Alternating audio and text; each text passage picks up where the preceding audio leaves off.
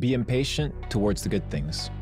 Be impatient towards doing the good things every single day. Be impatient towards waking up and going to the gym. Be impatient to get on your sales calls and close those clients. Be impatient to pick up that book and read. Instead of being impatient about the results, be impatient about the input because you mm. can't control the output.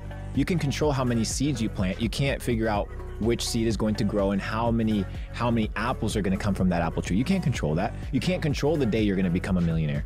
If you say I'm going to become a millionaire in 1 year, good luck motherfucker because if that year rolls around and you're not a millionaire, you're going to feel like shit. You're going to feel unsuccessful. But if you're like my success is determined by my input and not my output, dude, be impatient as a motherfucker getting that input grinding, understanding that money, success is a lagging indicator. So hustle, do what you have to do on the input, and then let by natural law, which is a principle that applies to the universe, right? Action causes reaction, input causes output. Focus on what you can control, be impatient about becoming great, and the rest will play out. Mm.